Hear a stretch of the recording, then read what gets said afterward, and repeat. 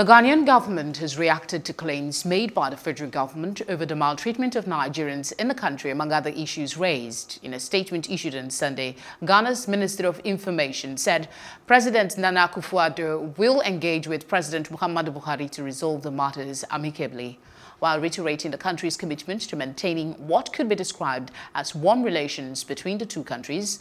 Nkrumah said the move is necessary to guard against straining the diplomatic ties. This comes two days after Nigeria's Information Minister Lai Mohammed said the federal government will no longer tolerate further maltreatment of its citizens in Ghana.